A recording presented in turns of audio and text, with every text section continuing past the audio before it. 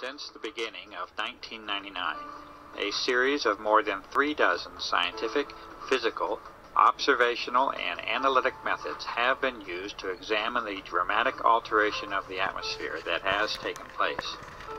These tests have been conducted with much labor, time, and expense. They have been conducted with very limited resources and equipment, much of it requiring original construction, development, or modification. What follows is a partial presentation of these sampling methods. The diversity and thoroughness of examination is apparent in the work that has now spanned more than five years. The officials and authorities have not attempted to replicate these testing methods, at least not publicly. They have not reacted to the results in any formal fashion, and they have not tangibly responded to the many calls for public inquiry and investigation that have been made. The methods and results of all testing procedures are available on the website www.carnicom.com. And this research represents a substantial body of information that may be helpful in interpreting the designs and motivations behind the aerosol operations. Essentially, the method is one of reverse engineering for a global covert operation and there is no limit to the work that remains to be done. These findings, conducted for more than five years, are offered to the public. These studies begin with an examination of contrails themselves, a very common and ordinary phenomenon involving the freezing of water vapor into ice and their subsequent dissipation through evaporation and mixing. Meteorological studies of contrail formation and cloud formation have been made. Visibility standards and their reduction from a maximum of 40 to 10 miles have been called to attention.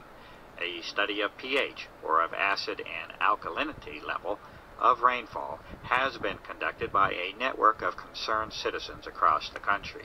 Highly unusual statistical results are present in the vast majority of these studies.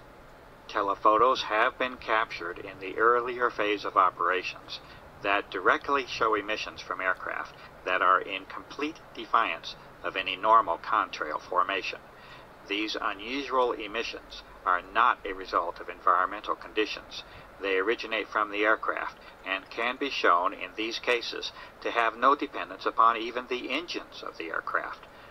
HEPA, or high efficiency particulate air filters, have been used in various states to directly filter the outdoor air in repeated tests. Some of the materials found include the repeated presence of unusual filaments, a gel formation, crystals, and powders. Extraordinary levels of particulate materials have been directly observed and recorded using simple methods discovered by citizens across the country. These methods include the corona of the sun and extremely powerful lamps.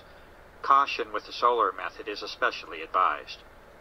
These observations have been taken under the most ideal weather and air quality conditions, and they nevertheless provide alarming and direct evidence of the substantial changes that have occurred in our atmosphere.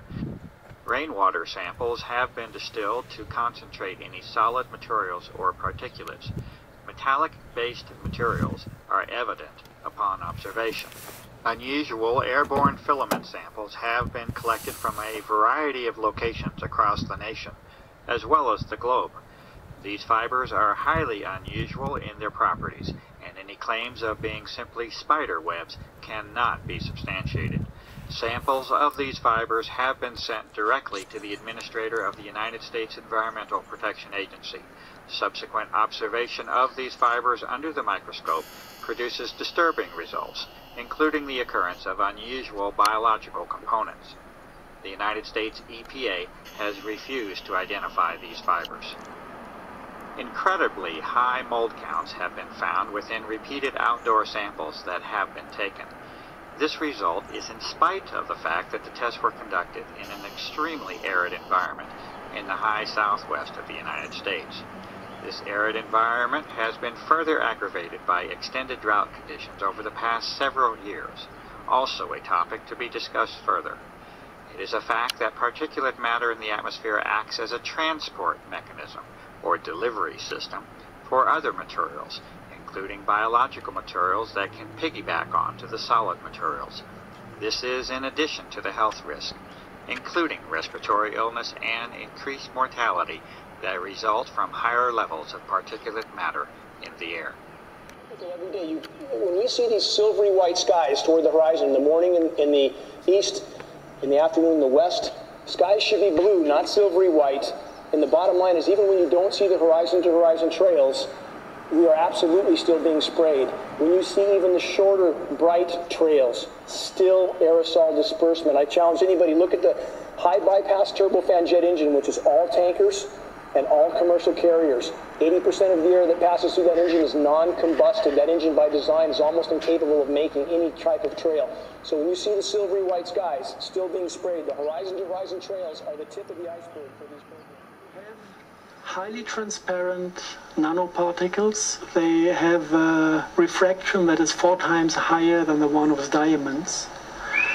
That um, if you look it up on Wikipedia, you can read there that they are valid for uh, scalar applications, that they can be used in um, um, applications utilizing uh, field structures.